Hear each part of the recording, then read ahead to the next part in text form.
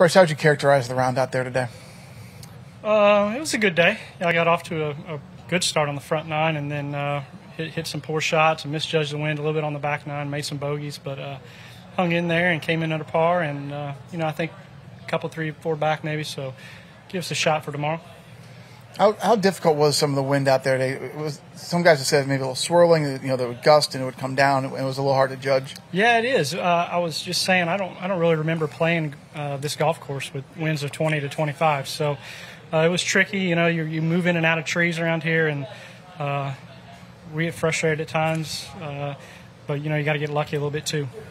We talked uh, a couple days ago about what you said about needing to come out right away and from from the get just be on your game. You can't just kind of play into the tournament, can't kind of play into the rounds. How do you feel like you've done this week with that? I mean, obviously, it seems like you've done pretty well. Yeah, I think it's gone great for us. We we've been aggressive at times, but uh, very conservative at times too. So uh, we just came out with the mindset that you know we have to uh, you know go get this thing done, and um, we're in a great position. So tomorrow we're just looking forward to the same stuff. Keep doing what keep doing what we're doing as far as hitting our spots, and uh, hopefully the the putter stays hot. What will that kind of aggressive nature look like tomorrow in a fi- in a final round when you're just maybe a couple you know a few shots back?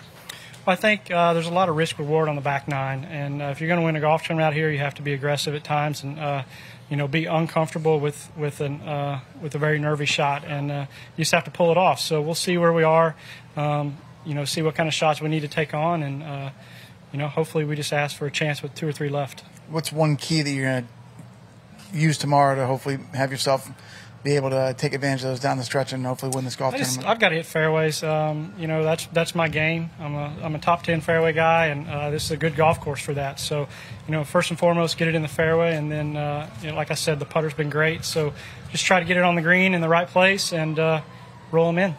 Thanks, Brice. Yeah, appreciate it, guys.